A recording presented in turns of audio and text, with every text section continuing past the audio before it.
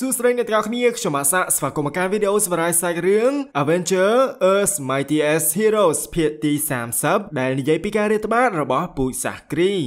អេពីសូតមួយនេះគឺចាប់ផ្ដើមឡើងមកនៅលើយាន Damocles ដែលជាយាន Time Travel របស់ Kang the Conqueror កាលពីលើកមុនហើយឥឡូវនេះគឺវាត្រូវបានគ្រប់គ្រងដោយអង្គការខាងវិទ្យាសាស្ត្រនិងអាវុធហៅថា SWORD ដែលពួកគេនឹងគឺកំពុងតែសិក្សាស្រាវជ្រាវទៅលើយានរបស់ Kang ក៏ដូចជាយកវាធ្វើជាកន្លែងស្វែងរកទំនាក់ទំនងជាមួយនឹង alien នៅក្រៅភពផែនដីផងដែរហើយនៅនឹងយើងក៏បានឃើញដែរថាប្រមុខនៃអង្គការ SWORD នេះឈ្មោះ Abigail Brand គឺមិនទាន់អាចប្រើប្រាស់យានរបស់ Kang បាន100%នៅឡើយទេ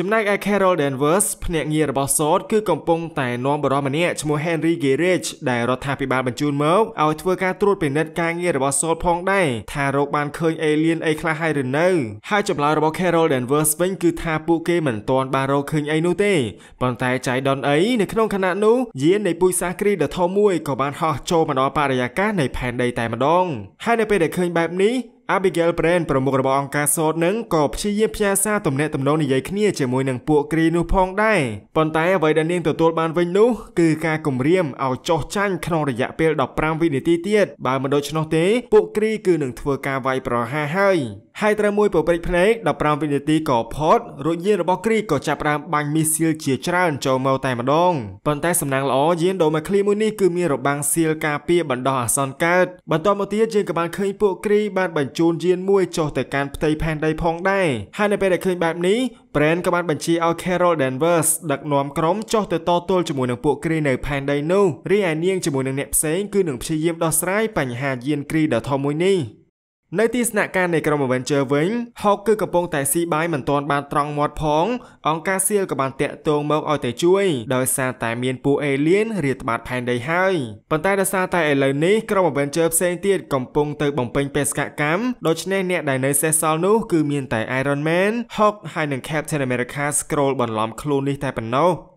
កាន់មកកាន់ពួកគ្រីដែលធ្វើដំណើរមកដល់ផែនដីវិញគឺមាន John Rock, Marvel ហើយនិង Ronan the Accuser ហើយបន្ទាប់ពីពួកគេបានវាយក្រុមអង្គការសៀលមួយប្រាវឲ្យដួលខ្ទេចខ្ទីហើយ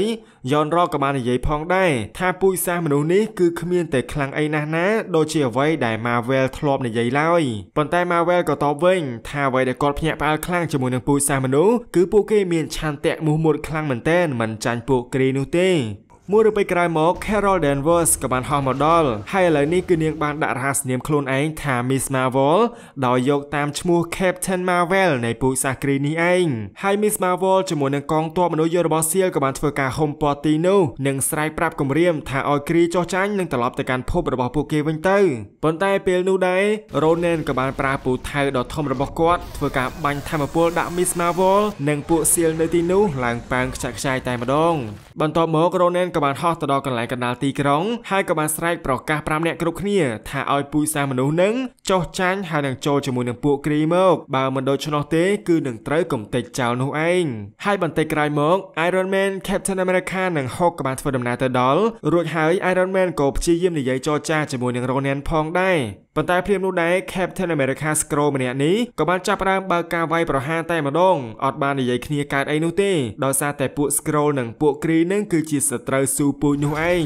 ហើយនៅកន្លែងហ្នឹង Iron Man និង Hulk ក៏បានរួមគ្នាវាយជាមួយនឹង Ronan រីឯ Miss Marvel Carol Danvers វិញគឺវាយជាមួយនឹង Captain Marvel ដែលជា idol ខ្លួនឯងនោះឯងដោយនាងក៏បាននិយាយផងដែរថាខំដាក់ឈ្មោះតាមគាត់ហើយ តែឥឡូវ Marvel បែរជានាំគ្នាមករាតត្បាតផែនដីទៅវិញ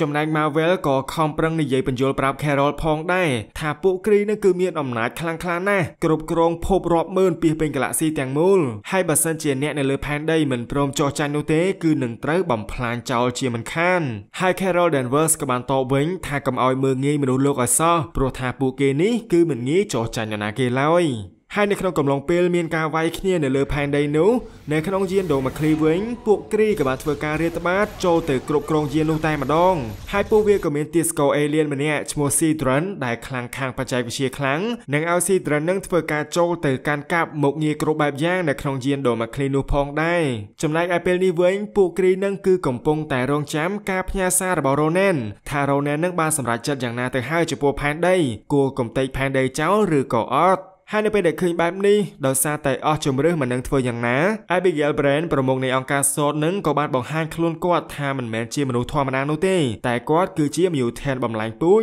និងមាន super power ទៀតផងហើយយើងក៏បានឃើញគាត់ធ្វើការវាយបង្ក្រាបពួកគ្រីទាំងអស់នៅលើយានដូម៉ាគ្លីនោះផងដែរបន្ទាប់មក Brand ក៏បានដោះលែង Citron ឲ្យមានសេរីភាពនិងប្រាប់ឲ្យគាត់ជួយធ្វើការផ្ដាច់ប្រព័ន្ធទំនាក់ទំនងពីផែនដីមកអត់ឲ្យ Ronan នឹងគឺផ្ញើសារទៅកាន់យានរបស់គ្រីកើតឡើយបន្ទាប់មកនាងក៏បានដឹកនាំក្រុមសររបស់ខ្លួននឹងចូលទៅលោកលុយនិងវាយប្រហារគ្រប់គ្រងយានរបស់ពួកគ្រីដែលហោះមកនោះផងដែរ ត្រឡប់មកកាន់ផែនដីវិញក្រោយពេលវាយគ្នាមួយសន្ទុះហើយរ៉ូណែនក៏បានធ្វើការសម្រេចចិត្តថាផែនដីនេះគឺត្រូវកំទេចចោលនោះឯងប៉ុន្តែនៅពេលដែលគាត់ព្យាយាមទំនាក់ទំនងទៅលើយានគ្រីនៅខាងលើគឺអត់មានសេវាតាក់ទងទៅអត់កើតនោះទេហើយនៅពេលនោះដែរ Miss Marvel និងក្រុម Avenger ក៏បានរួមដៃគ្នាធ្វើការវាយបង្ក្រាបរ៉ូណែនបានសម្រេចហើយទាំងរ៉ូណែននិង Captain Marvel ក៏ដូចជាពួកគ្រីផ្សេងទៀតក៏ត្រូវបានក្រុម Avenger ចាប់យកទៅឃុំឃាំងនៅក្នុងគុកលេខ42ផងដែរដែលមានទីតាំងនៅក្នុងវិមាន Negative Zone នៅទីនោះ Captain Marvel ក៏បានប្រាប់ទាំងបារម្ភទៅកាន់ Carol Danvers ថាមានដឹកនាំនៃពូជសាសគ្រី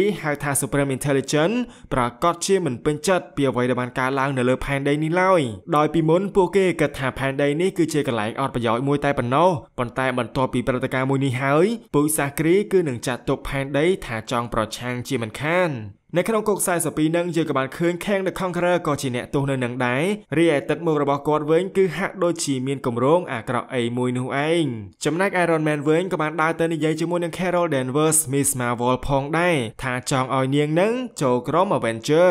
រីឯ Carol Danvers ក៏រំភើបមែនទែនហើយក៏បានយល់ព្រមប៉ុន្តែរឿងដែលសំខាន់នោះគឺ Carol រវល់ធ្វើការងារជាមួយនឹងអង្គការសោតច្រើនដូច្នេះនាងគឺអត់មានពេលដើរវាយគ្នាជាមួយនឹងក្រុម Avenger ឡើយ បន្ទាប់ពីភាពវឹកវរបានបញ្ចប់យើងក៏បានឃើញ Captain America Scroll បានរាយការណ៍ទៅថ្នាក់លើរបស់គាត់ផងដែរថាពូជសាគ្រីបានធ្វើដំណើរមកដល់ផែនដីហើយដូច្នេះគម្រោងសម្ងាត់របស់ពួកគេទាំងប៉ុន្មានគឺត្រូវតែចាប់ផ្ដើមអនុវត្តឲ្យលឿនលឿនតែម្ដងអរគុណខ្លាំងទេសម្រាប់ការទស្សនាវីដេអូមួយនេះ Like និង Subscribe បើសិនជាចូលចិត្តយើងជួបគ្នានៅវីដេអូក្រោយទៀតបាយបាយ